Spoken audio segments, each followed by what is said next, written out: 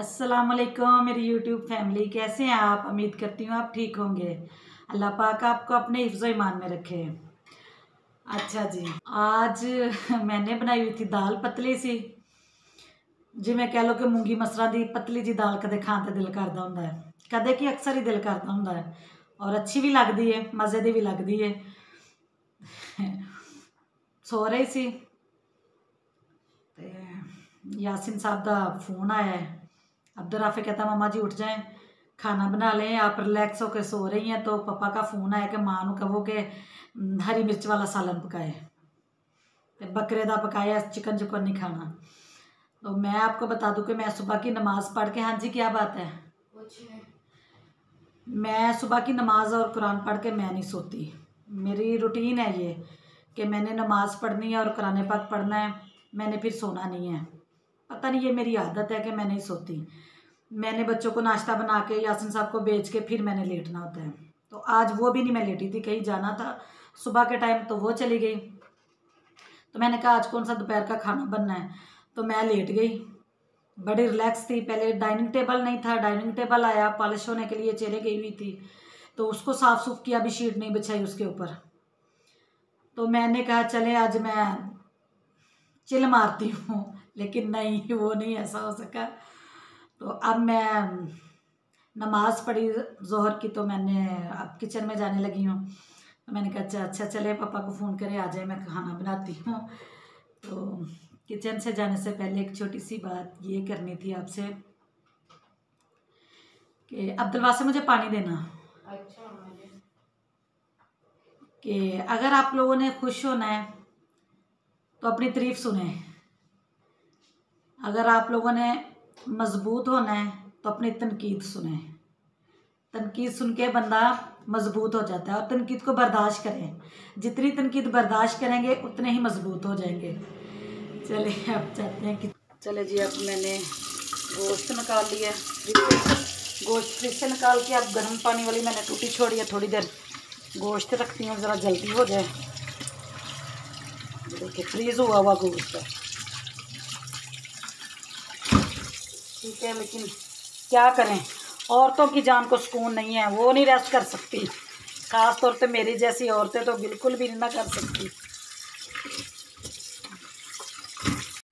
चले जी, ये गोश्त मैंने गर्म पानी में थोड़ी देर रखा है। अगर ना रखती तो फिर मैंने इसको भून के दूसरे तरीके से पकाना था। तीन अदद प्याज काटे हैं। रफली चॉप कर लिए। ये एक चम्मच भर के हरी मिर्ची जो मैंने खुद पीसी हुई हैं, ये देखिए। मैंने ऐसे के चम्मच रखे हुए हैं प्लास्टिक के बीच। ये देखिए। एक चम्मच भर के लहसुन अदरक का पेस्ट। ये देखिए, ये भी मैंने पेस्ट बना के फ्रीज़ किया हुआ है। फ्रीज नहीं, फ्रिज में रखा हुआ है। तो इसके अंदर भी मैंने ये चम्मच रखा हुआ है प्लास्टिक का। तो टमाटर लेके थोड़ा सा पानी डाल के मैंने ग्राइंड कर लिया ये देखिए।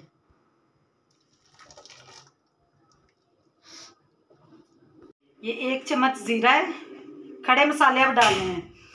ये एक चम्मच ज़ीरा है, दो सब्ज़ इलाची है, एक बड़ी इलायची है, तीन चार लौंग है और तीन चार ये काली मिर्चें हैं और दो से तीन टुकड़े दालचीनी के हैं और एक चम्मच नमक। नमक आप, मैं अपने मसाब के मुताबिक डाल रही हूँ। आप अपने हसब जायका आप डाल सकते हैं। हल्दी नहीं जाएगी इसमें इसको में लगा रही हूँ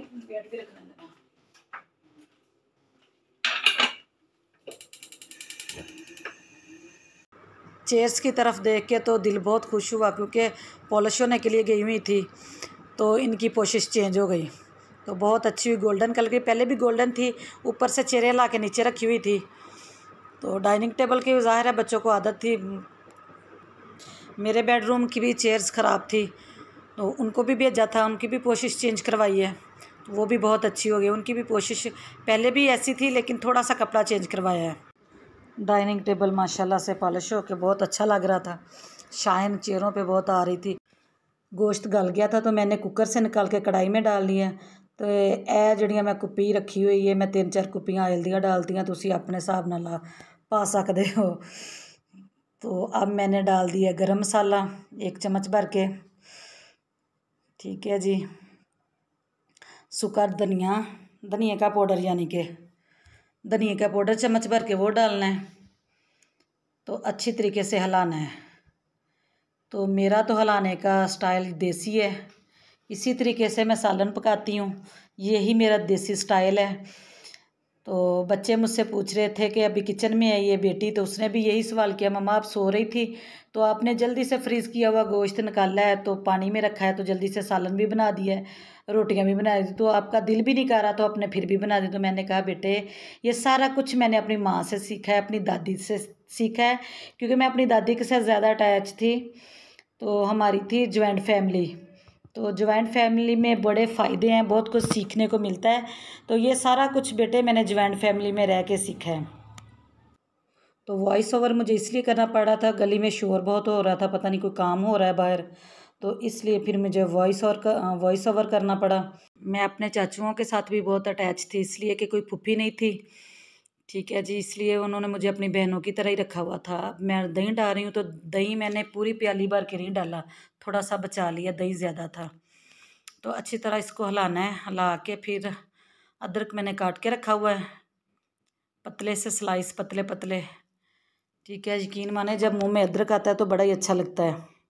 और फिर बाद में कसूरी मेथी डाल के तो इसको दम देना है। ठीक है, अल्लाह पाक सबके घरों में बरकत डाले, खानों में, रिज़क में सबके घरों में बरकत डाले। अब एक चम्मच लीमू का रस डाल रही हूँ मैं। रोटी ना भी गोल बने तो कोई मसला नहीं, ये ना कि रोटी कहीं से मोटी हो, कहीं से पतली हो। जहाँ से रोटी पतली होगी, वहाँ से जल जाएगी और जहाँ से मोटी होगी, वहाँ से कच्ची रह जाएगी। फिर रोटी फूलती भी नहीं। अच्छा जी, मटन हमारा बन गया है। बच्चों को भूख भी बहुत लगी हुई है। तो अब इसको सजाते हैं, जैसे हम कहीं जाने लगते हैं, ख़ुद को तैयार करते हैं तो ऐसे ही इसको तब तैयार करते हैं, थोड़े से अदरक के साथ और धनिए के साथ। और इसकी बहुत अच्छी लुक नज़र आएगी आपको। देखने को भी अच्छा लगेगा और खाने में भी मज़ा आएगा। चले जी, खाना लग गया है तो बहुत खुश हैं। अल्लाह पाक सबके रोज़ी रिज्क में बरकत डाले।